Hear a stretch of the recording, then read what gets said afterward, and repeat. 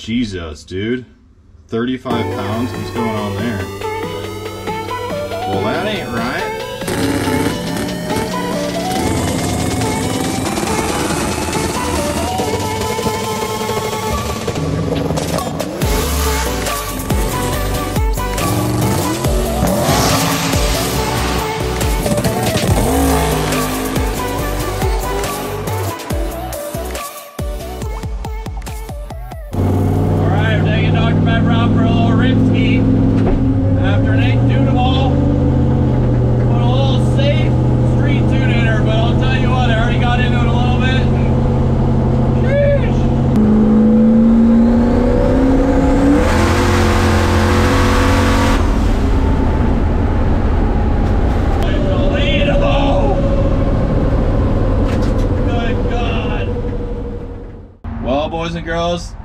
Trans is officially smoked again. I was sitting at the light and I tried to bump in, you know, just like a normal driver on the road. And now she's gone. She, she died a slow death, but it's all right. I got some friends coming to get me to tow me home, and it is what it is. All right, well, stand by. Oh, frick, guys. That is transmission fluid. This is the car on the intersection. I was just trying to get on the brake and bump into the light like any other driver, and uh, all my transmission fluid's on the ground now. Oh, yeah. That's a no bueno type situation right there. Hey, it's the leaf blower kid. Yeah. Thanks, guys. Appreciate it. Boom, huh? Luckily, I wasn't far, right? Yeah. Thanks, guys. This is always a ride of shame getting towed home in your race car. Gosh dang it. Hate when that happens. Okay, let's see it. Oh, yeah. There's the culprit. That'll do it. Transmission cooler line. These are the original AN lines go all the way back to the cooler. I think it's about time they get replaced. What do you think? What do you guys think? Should we replace them? It's an easy deal. What do, what do you say you want to do to your leaf blower? Put a turbo and nitrous on it. Yeah, that's what I'm talking about right there. Make it happen. Okay, well, after last night's adventure, I'm gonna pull the transmission out of this thing for probably the 30th time. We're gonna send it off to FTI so that they can go through it. Let's get this thing in the air. I'm gonna time it for you guys because I feel like I've gotten really fast at doing this. We'll see how long it takes me.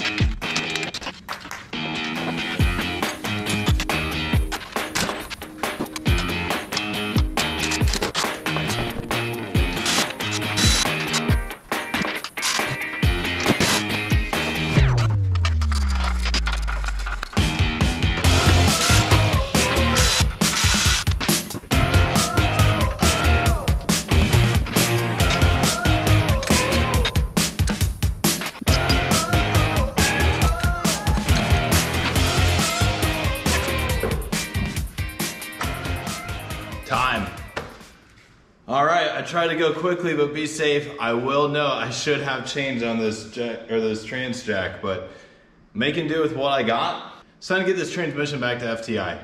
I don't think my gear vendor oil is supposed to be looking this dark because it goes in clear. That means it's definitely a smoked. You're done. People always commenting, oh, Parker, your wiring is terrible. My uncle's Camaro from 1983 had a way sicker wiring job that he did back in the 90s. Well, look at me now. We got a freaking Racham wiring harness from Race Wire Solutions with the firewall connectors. It's all gonna be cut to length and absolutely sick and clean. And I am so pumped to go in in this product. I love wiring and quit talking crap, y'all, because hey, this thing's come a long way and you can't argue that.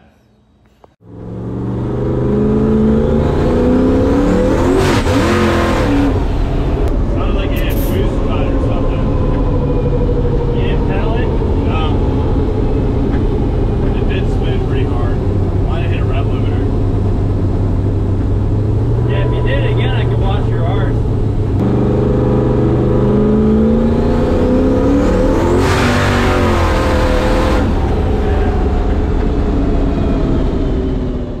Jesus, dude. 35 pounds? What's going on there? That explains it. Well, that ain't right. I'm only commanding 10.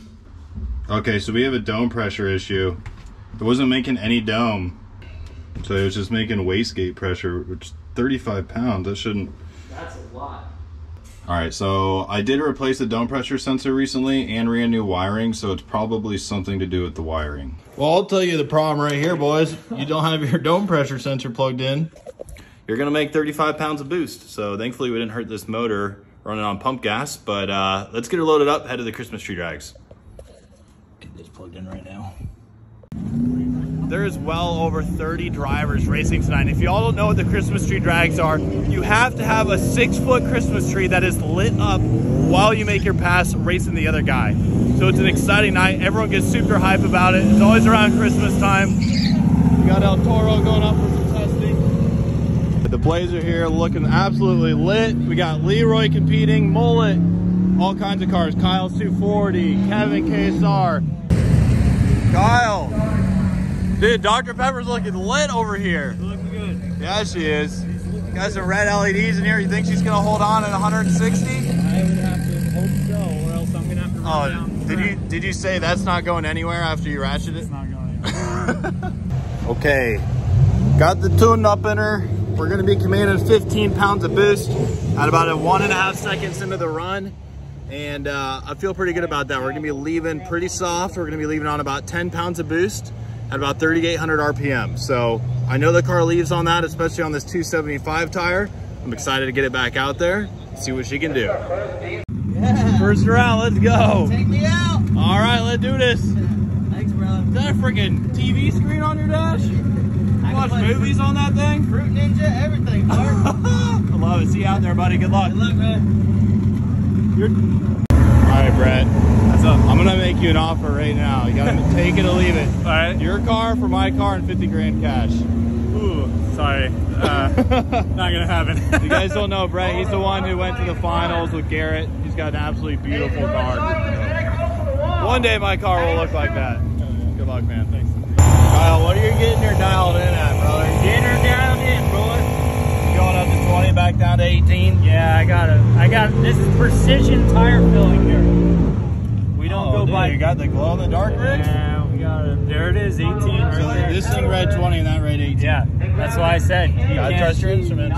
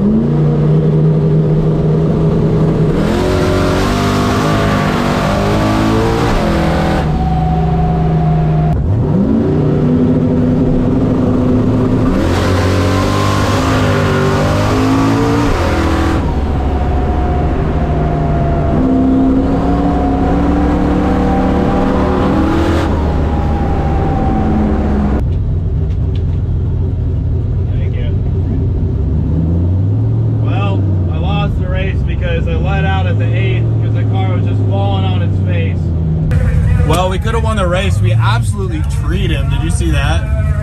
I mean, I got way out in front of him. So 17.5 on the tree. He was 358, and then you know 60 foot.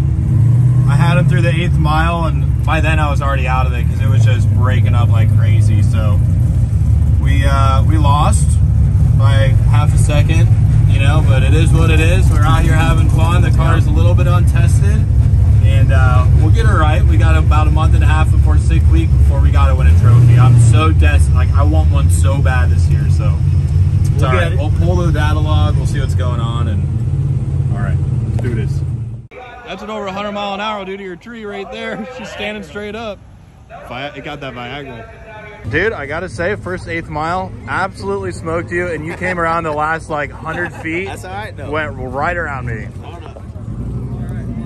What happened on the tree? Were you taking a nap? Uh, I turned, I turned the launch It- RPM off. It happened really quickly. It happens really quick. It, It happens quick, dude. So fun. Great Congrats. Who you know who you're racing next? Actually, I had a problem with the catch can, so What do you mean? I gave uh, bottom the catch can starting to leak, so I put oil underneath the car.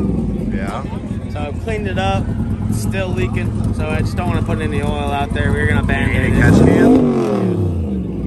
What'd you get No, for me? this is presented to you. We already presented it on TV because you had no lights on your car. So you. Kyle had one job. It wasn't my fault. I was I was all hectic.